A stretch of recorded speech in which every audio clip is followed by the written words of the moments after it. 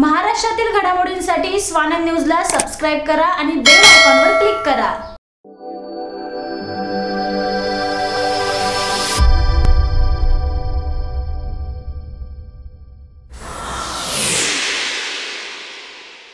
दिवा उड्डाण पुलाच्या कामाकरिता रेल्वे स्थानक परिसरातील अनेक इमारती या बाधित होत आहेत. त्यामधील काही इमारतींवर दिवाळी सणासुदीच्या कालखंडातच ठाणे महापालिकेने पोलिसांच्या फौजपाट्यासह तोडक कारवाई करत जेसीपी चढवला आहे. स्थानिकांच्या समस्या आणि मागण्यांकरिता गेल्या अनेक महिन्यापासून स्थानिक आमदार राजू पाटील हे स्थानिकांसोबत बैठक घेत आहे. मात्र ठाणे महापालिका आयुक्तांसोबत बैठक होण्याआधीच ही कारवाई करण्यात आली असल्याने मनसेचे आमदार राजू पाटील हे चांगलेच संतापले आहेत. डोळ्यासमोर स्वतःच्या घरावर कारवाई होत असताना घरामधील रहिवासी हे रस्त्यावर लोळत होते. त्यांना पोलिसांच्या गाड्यांमध्ये टाकण्याचे काम देखील करण्यात आले. मनसेचे आमदार राजू पाटील यांनी घटनास्थळी भेट देत नागरिकांना दिलासा दिला. त्यांच्या जेवणाची सोय लावून धरली.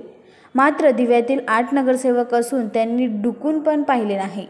विशेष रस्त्याच्या पलीकडे शिवसेना नगरसेवकांचे ऑफिस आहे.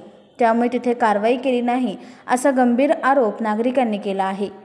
मात्र यावर सत्ताधारी कोणीही बोलण्यास तयार नाही. तर मला निवडणूक दिली ना मग तोडा घरं यांचे असा आरोप मनसे आमदार राजू पाटील यांनी सत्ताधाऱ्यांवर केला आहे. आयुक्तांनी मला आजची वेळ दिलेली.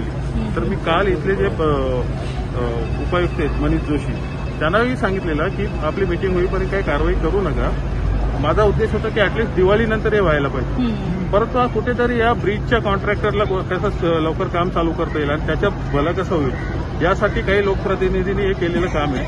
हे अ, अधिकाऱ्यांवर दबाव आणून केलेलं काम आहे. त्यामुळे या लोकांचा दिवाळी असो का काय म्हणजे याकडे माणुसकीच्या दृष्टीने न बघता टोटल यांच्यावर राग काढला गेला राजू पाटीलला निवडून दिलं ना तोडा घरं यांची.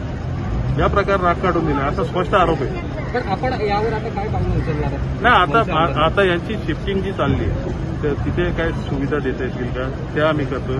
आमची अजून एक डिमांड आहे की इथे भविष्यात क्लस्टर झाला तर इथले जी लोक शिफ्ट केले जातात त्यांना इथे घर देण्यात यावं त्या रूम त्यांनी परत घ्यावा या काही आमच्या डिमांड्स आहेत तिथे आणि ते आम्ही तिथे त्या त्या वेळेस मांडणार आहोत. आता एक शेवटचा प्रश्न काही कोणत्याही त्या बिल्डिंग समजा गटारच्या बाहेर असतील तिथे गाळेधारकेचं थोड्याफार प्रमाणात पुनर्वसन होऊ शकतो.